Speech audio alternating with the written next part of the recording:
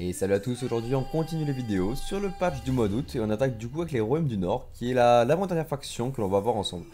Euh, ce qu'il faut savoir sur les Royaumes du Nord c'est qu'il y a 5 nouvelles cartes, que ces nouvelles cartes sont en général euh, à très haute valeur, sauf une seule qui est une des moins intéressantes euh, je pense, on va voir ça ensemble. Et enfin surtout la disparition du trio euh, qui est un petit peu compliqué à mettre en place et qui a été remplacé par d'autres mécaniques qu'on verra aussi également ensemble avec les mises à jour. Euh, première carte qui a été ajoutée c'est le tuteur qui est quand même une carte à 9 une bronze à 9 de base qui en plus a un effet plutôt sympa, ça permet de mulligan une de nos cartes et de la remplacer par un sort bronze ou une carte alchimie. Donc c'est bien sûr l'habilité d'une carte qui est marquée alchimie. Donc c'est souvent les cartes sort avec alchimie. Donc 9 qui permet de mulligan, pour l'instant, il n'y a pas grand chose à redire. Hein. C'est assez efficace. Même si pour moi, le, fait de changer ça comme ça est peut-être un peu moins intéressant suivant le deck que l'on joue. C'est à voir. Euh, dans un deck avec beaucoup de spells, ça peut être très intéressant. Ensuite, on a le bélier du coup, qui est très très très efficace. C'est une carte qui a 7, mais qui met 3 dommages à un ennemi. Si celui-ci est tué, on remet 2 points de dégâts à un autre ennemi. Et en plus de ça, elle a... Euh, comment ça s'appelle en français? euh, Le talent recru, je crois, qui augmente les dégâts de 1. Donc c'est vraiment colossal, ce qui veut dire que la carte en général sera à 10 de valeur pour une carte bronze, qui passe à 12 et qui peut même être encore au-dessus si c'est joué avec les, recrues. Donc c'est vraiment colossal, ça c'est une des cartes franchement énormes quoi. Ensuite on a euh, de quoi poser beaucoup de valeur sur le board euh, en ce moment peu les unités, ça correspond un peu au, au jeu qui existe déjà des soldats témériens.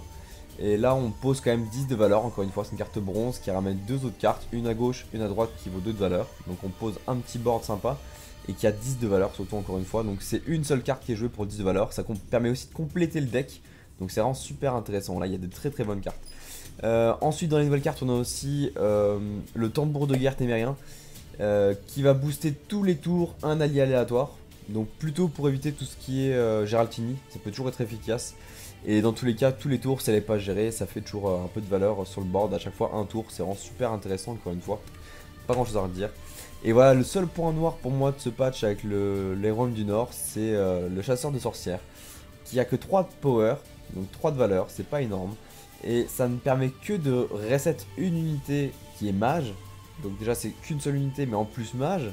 Et si jamais c'est un mage, euh, on peut refaire revenir un autre Witch Hunter, donc un chasseur de sorcières, et de continuer de cette manière-là. Je suis pas super fan dans le sens où ça s'adapte uniquement à contrer un certain type de carte et pas d'autres. Donc c'est un peu compliqué pour moi de le mettre en place. Il faut voir par la suite comment la méta va évoluer ou quelles vont être les, cartes ajoutées par la suite euh, qui correspondent du coup au mage. Mais pour moi c'est pas une carte indispensable actuellement par rapport aux grosses grosses sorties, c'est le vraiment seul point noir. Maintenant on attaque dans les mises à jour.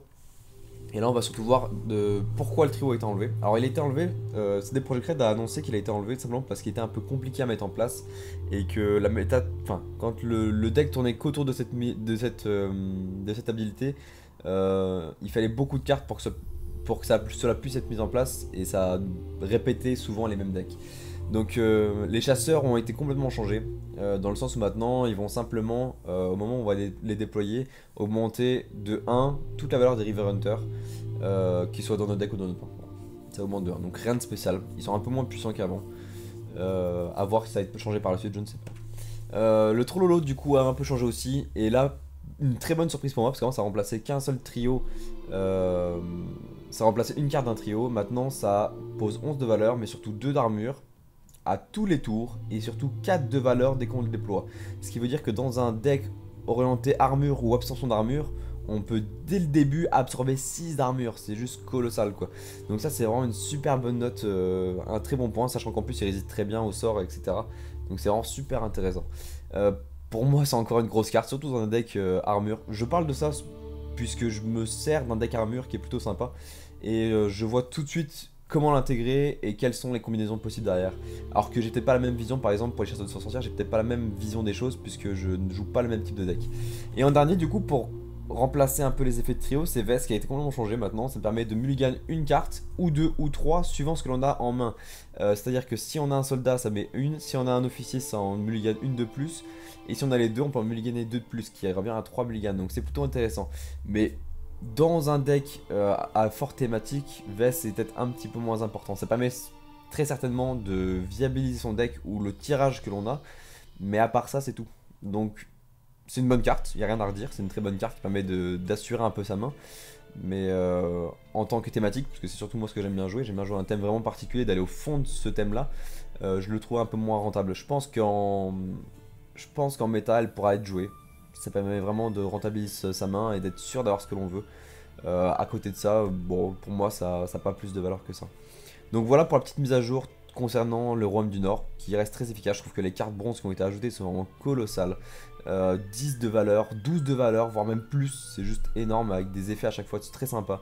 Euh, un seul petit bémol pour le chasseur de sorcières qui est pas si ouf que ça. Mais une très très bonne mise à jour pour eux, je pense, et ça sera encore une fois à tester.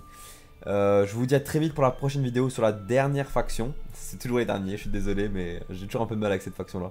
Et puis, bah, on se retrouve à la prochaine vidéo. Ciao à tous.